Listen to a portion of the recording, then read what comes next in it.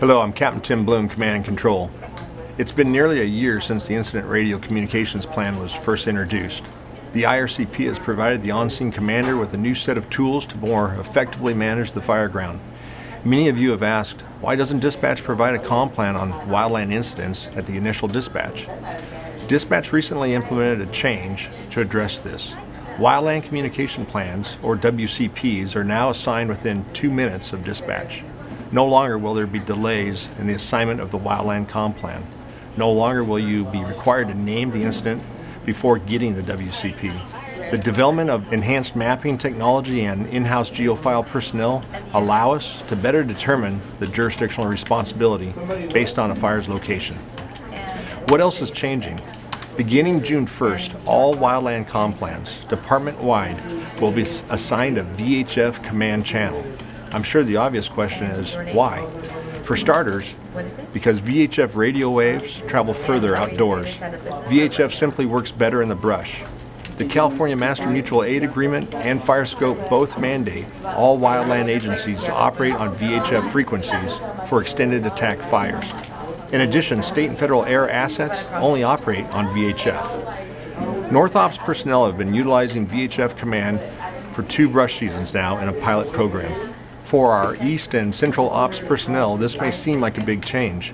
However, all of our mutual threat zone communication plans, such as Solar or Susanna, Foothill, have utilized VHF command for several years.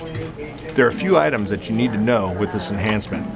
First, once on scene, company and battalion commanders will need to validate the fire's location in relation to local, state, or federal responsibility areas. Also, for potential cost recovery purposes, incident commanders should advise command and control of any fires within a half mile of SRA. And second, the size up report you announce on the admin channel is only heard by command and control. If you're working with other agencies within a mutual threat zone or initial action zone, consider repeating your size up on your assigned command channel. Many of you, I'm sure, remember the white radio days when VHF was a direct frequency. In 2010, with the purchase of LAC V1 through LAC V5, the department began to build a VHF system with the ability to repeat those frequencies. So just like your UHF radio, the VHF command channels work in both repeat and direct modes. The final build out of the VHF system will give us the ability to simulcast each VHF command channel this is similar to how the UHF radio system operates. On the UHF system, when you key the mic, all 13 repeater sites open up and transmit at the same time. The VHF radio system will have this same capability in the near future. But in the meantime, we currently lock down the repeater that carries the strongest signal. We're going to select and lock down whichever repeater works best. But it takes some manual tweaking. If your incident communications are not optimal, contact us at Command and Control on either your admin channel or via cell phone as soon as possible and let us know. Knowing that VHF Command, LACV1 through LACV5 are designed to operate in repeat mode, always check your HT and your rig radio and make sure you have selected the repeater option to optimize communications. On some occasions, you may find that you are in line of sight with a resource and yet you can't hail them in repeat mode. If this occurs, switch over to direct mode and try again.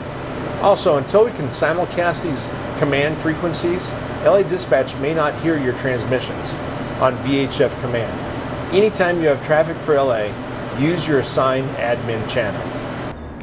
As we approach the use of VHF for both command and tactical radio operations, radio dexterity is more crucial than ever. I encourage you to reach out to personnel in North Operations who have been operating on VHF Command for over two seasons now and discuss with them their best practices. Continually drill with and manipulate your mobile and portable radios. Make radio use second nature. Bring your radios to morning lineup. Practice with your crew. Click on the links we have provided regarding how to empty and build a scan list and how to toggle between channels.